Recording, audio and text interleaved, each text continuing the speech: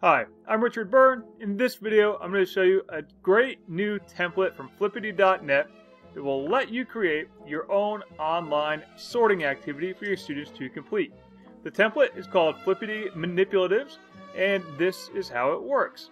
You can see here we've got a whole bunch of names and we've got some category tags we can use here and then we can sort them out and drag people into them. And so on. But you'll notice down here in the bottom right corner, there's also this little show options button. And here we can pick a different layout. Maybe we want to do a four column layout. Now we have columns to clearly delineate here and then have people sort accordingly. So let's take a look at how this actually works and how you can use it. So go to flippity.net and select the manipulatives, hit the template button. This will make a copy in your Google Spreadsheets account. By the way, if you use the flippity.net add-on for Google Spreadsheets, you can get to it from your add-ons menu as well.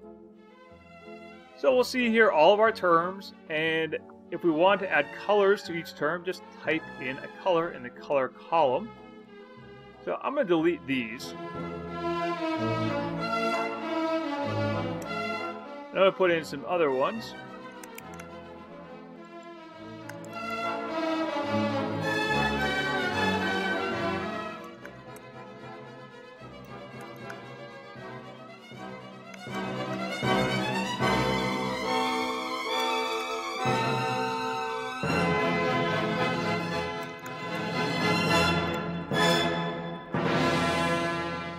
We'll just leave it as is for now. And the rest of these, I'm just going to delete.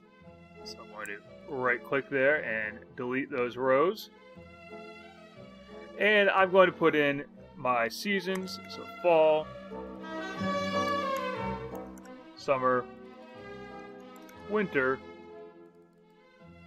and spring. I'm going to delete these two rows.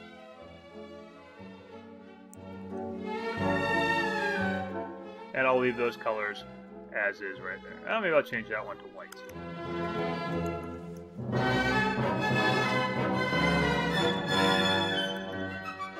Now, in this next tab, we'll see backgrounds.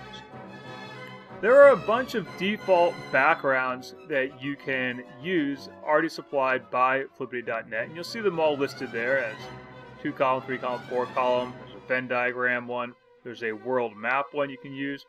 But if you want to use something different, find the image that you want to use, host it online somewhere, or it could be your own image you have hosted online somewhere.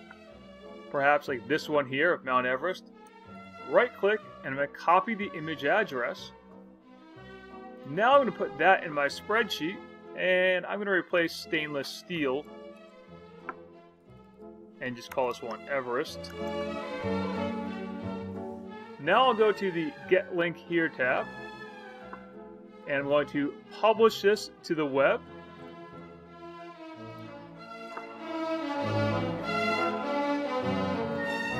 And now I have this new link. And this is a link that I'll give to my students to have them complete my activity. And I might even tell them in here, I want you to use the four column layout. So fall, spring, summer, winter. Have them drag them in there. Now, if I want to force my students to have to use this four column layout, what I could do is go back to the background section and remove all the options except for four column from this spreadsheet. Then they'd only see the four column layout option. So that's how you can create your own online sorting game by using Flippity.net's new Manipulatives template. As always, for more tips and tricks like this, check out PracticalEdTech.com or subscribe to my YouTube channel.